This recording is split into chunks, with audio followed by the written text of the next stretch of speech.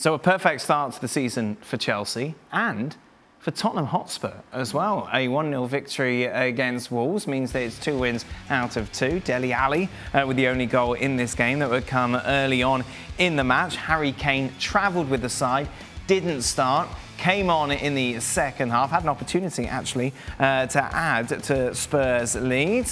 Uh, Gab Marcotti, what's the latest on Mr. Kane? I think it's pretty much as you were, and I think things are going to go down. I think they're going to go down to the wire. Uh, I think it's, it's not lost on anybody that Sergio Aguero is no longer uh, a Manchester City player. Unless, of course, he comes back because, of course, he hasn't actually been registered by Barcelona yet. So, you know, leave the door open for that one. Maybe he's Pep's ultimate plan B, but um, City's bid has been has been rebuffed. Uh, whether that means that they're going to come back with with the big bid that Daniel Levy, you know, isn't going to say no to or not. I think it all remains to be seen.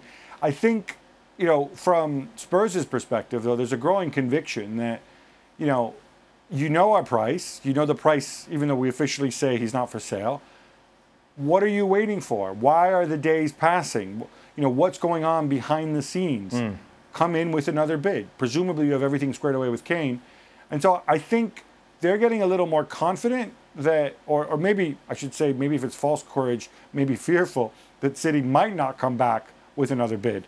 Um, I think that needs to be weighed up uh, as well as a possibility because, as we said, if it's going to be 150 million pounds, that is an enormous amount of money to pay for somebody of Harry Kane's age, mm. particularly when yeah. people like Kylian Mbappe and Erling Haaland are going to be are going to come on the market next year just from a performance point of view, results point of view, two wins out of two with all the hoo-ha, all the faff, all the Harry Kane. From a Spurs perspective, hey, look, at least we're getting job done. We're winning matches. Without question. And, and make no mistake about it, despite uh, Wolves' own start to the season, two losses for them, this is a very good Wolves side. And, and, and they showed it on the day.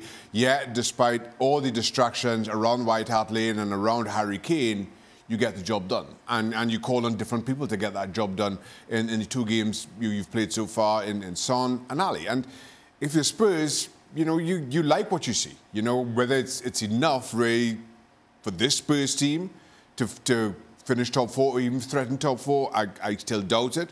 But um, you have to be happy with what you've seen in, in two difficult, two difficult games to start this season. Well, thank you very much for watching ESPN on YouTube. For more sports highlights and analysis, be sure to download the ESPN app. And for live streaming, premium content, and let's not forget as well, ESPN FC seven days a week. Subscribe to ESPN Plus.